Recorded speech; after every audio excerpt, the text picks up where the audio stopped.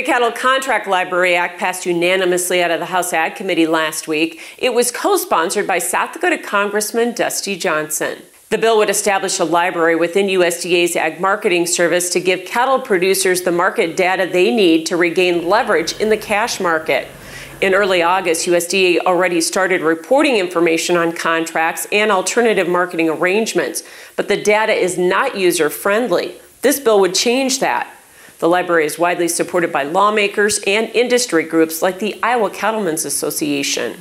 More information's got to be good. I hope it's in a form that's usable, that that producers can can maybe glean something from it. There is growing optimism about passage in the full House. While it's not a silver bullet in the effort to reform the cattle markets, it's at least a good step.